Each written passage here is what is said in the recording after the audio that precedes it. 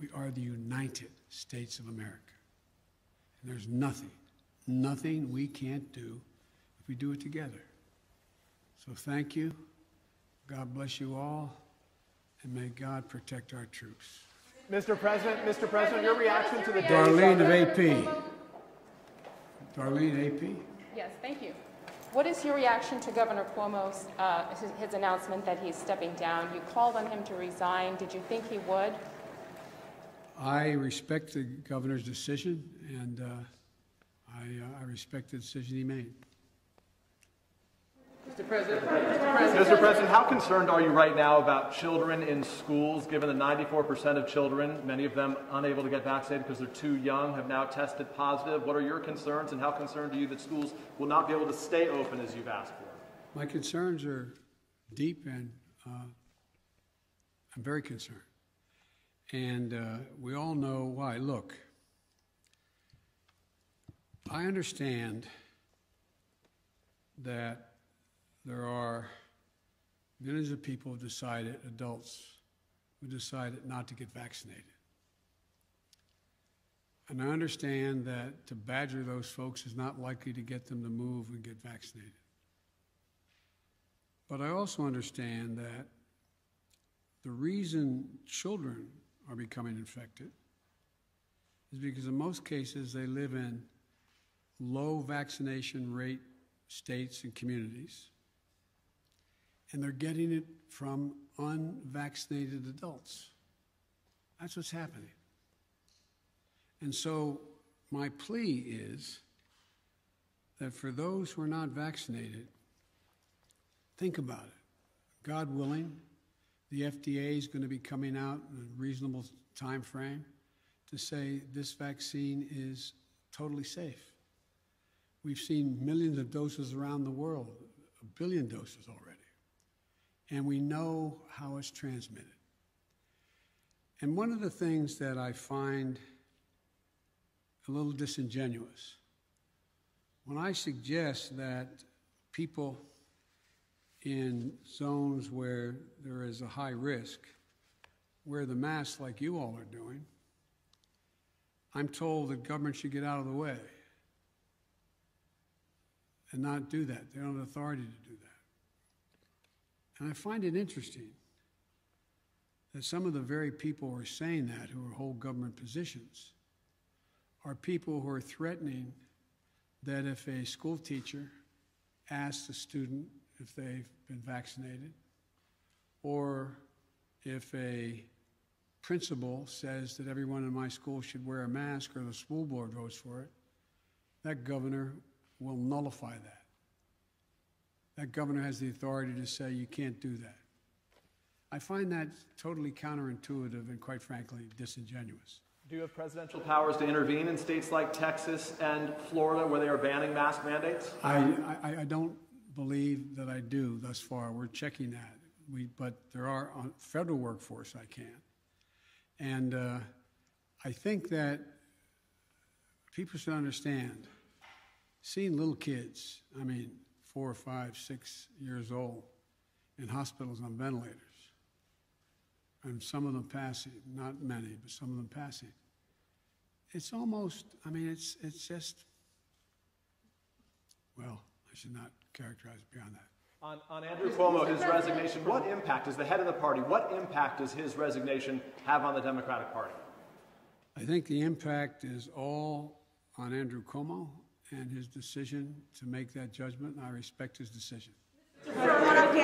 In just the last few days, multiple cities in Afghanistan have fallen to the Taliban. There's irrefutable evidence that a vast majority of those Afghan forces cannot hold ground there. Has your current plan to withdraw U.S. troops changed at all? No.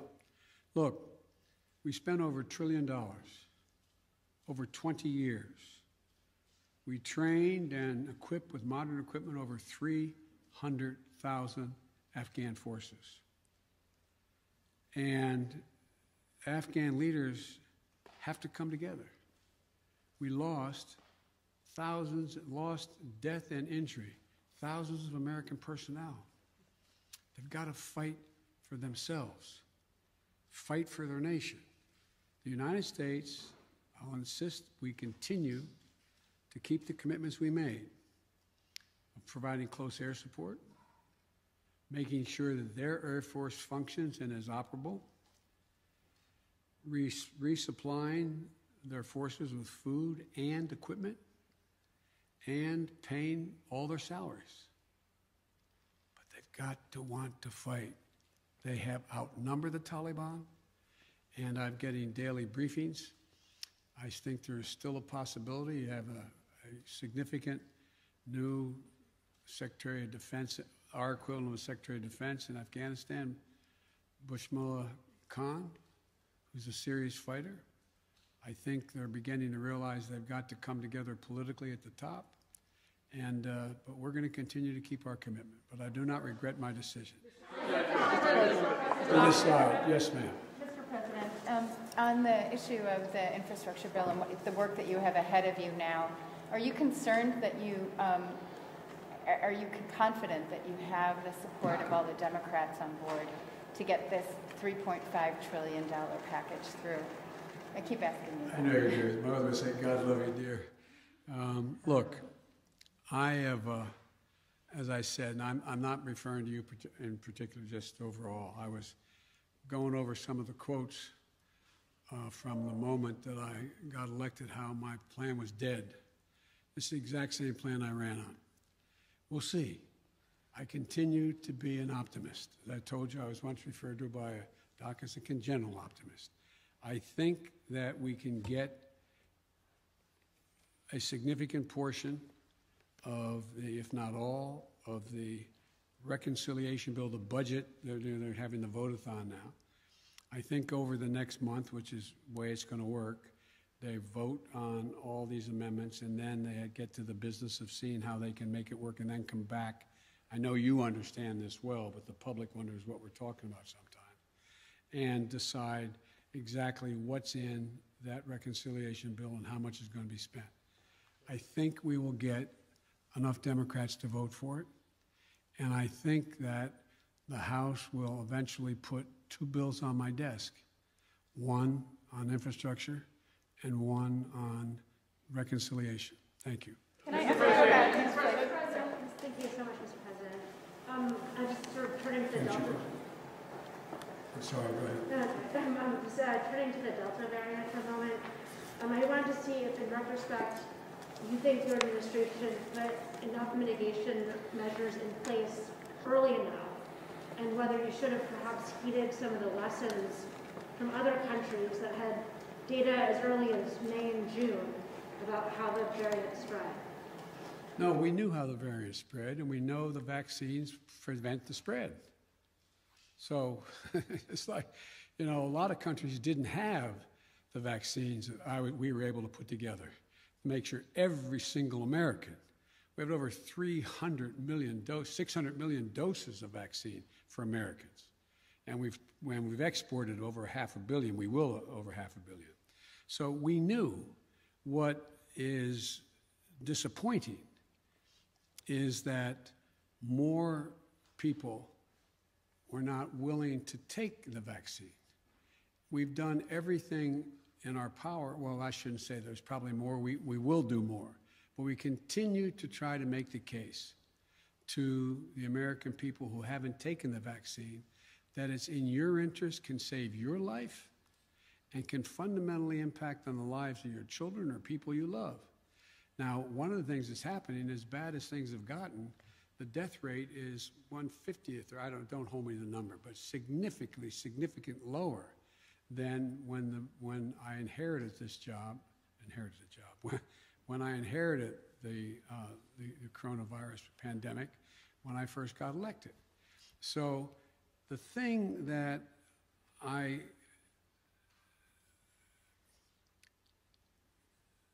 I, I, I continue to hope that people will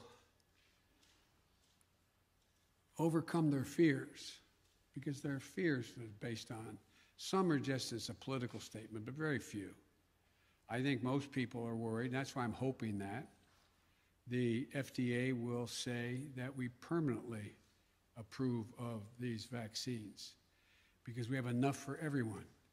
And I'm hoping that uh, as people realize, and it is picking up, vaccines are picking up, but not at the rate they were before. Remember, I was setting up, you know, uh, stadiums, sports stadiums, and we we're doing thousands of vaccines a day. And uh, I wish I could have thought of something beyond what we've thought of that make everybody want to get the vaccine, but that hadn't been the case. Now, at a federal level, what I'm going to be doing is more is making sure that they understand that I do have authority to say if you're going to come into this building, into a federal building, that you have to have been vaccinated or show that or be wearing a mask. And I think that um, I'm going to use, and I, I anticipate that it's probable that the Defense Department will, as they put in place all the mechanisms needed to be able to, in fact, in, impose or, or initiate a mandate for all the regular forces and reserves to get vaccinated. But um, I continue to be hopeful. You see, I had a long talk, not long, I had a talk with Governor Asa Hutchinson, who said he made a mistake. And he is working really hard going around. He told me that he's doing a lot of town meetings, not all of which are being embraced, but he's making the case. We're going to continue to make the case. If I may, ironically, Mr. President, one of uh, I have the, a one of the Democrats through the years that you spoke with about infrastructure the most was Andrew Cuomo, who is resigning, who announced he's resigning today. You had traveled New York with him when you were vice president to the launch of the reconstruction of LaGuardia. He was someone who supported your campaign early on. No, you called on him to resign. No, you condemned the alleged behavior. But you're someone who spends a lot of time with mayors and governors. How would you assess his 10 and a half years as governor of the state? In terms of his personal behavior or what he's done as a governor? What he's done as a governor? Thought he's done a hell of a job. Thought he's done a hell of a job.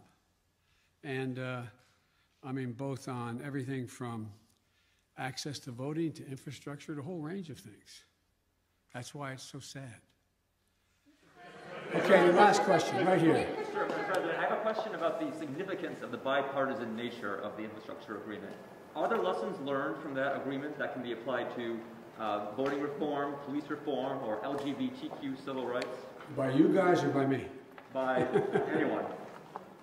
By- and- and- I, I'm sorry, I shouldn't kid, because I was just reading about 50 statements from very serious press people about how I, uh, my whole plan was dead from the beginning. Look, um, the lesson learned is being willing to talk and listen. Listen. Call people in. Call people- no, no, let me finish it. And I think the lesson learned is exposing people to other views. And so that's why, from the beginning, on all the subjects you raised, I've sat with people and listened to their positions, some in agreement with where I'm in, some in disagreement. And so I think it's a matter of listening. It's part of democracy. Thank you all so very much. Why have you not named an FDA commissioner? President, Andrew Cuomo immediately. He's, he's leaving I'm not going to comment any more on Andrew Cuomo. FDA, you haven't, you haven't named an FDA commissioner? Why have you not named an FDA President. commissioner, sir? Say again? You haven't named an FDA commissioner yet. I was wondering why you haven't found or named a permanent FDA commissioner yet. We're working on that very hard to make sure we can get it passed. Yes. question for you on Would you like to infrastructure, but can I quickly follow up on your, your comment on Governor Cuomo? Can you really say that he has done a quote hell of a job, that he's accused of sexually harassing Now, women? look, you asked two different questions. job? I asked the substantive, should he remain as governor is one question. And you, women should be believed when they make accusations that are able to, on the face of them, make sense and investigate it. They're investigated, and the judgment was made that what they said was correct. That's one thing. The question is, did he do a good job on infrastructure? That was the question. He did. The question was, how did he do as a governor? No, the question was, correct me if I'm wrong. Well, how was he as a governor general? The Outside of governor behavior. obviously, Outside of his personal behavior. outside of his personal behavior? But Okay. can you separate the two? since No, I'm not. I was asked a specific question. Okay. I'm trying to answer specifically. What do you want to ask me specifically? Well, I'd like to ask you about infrastructure as well. Given that you have said this is such an urgent bill that needs to be passed, why not have the House take it up immediately for a vote? We'll get it done. I'll get both. Thank you. President, Mr. President, we'd like to see the FDA speed up approval of the coronavirus vaccine.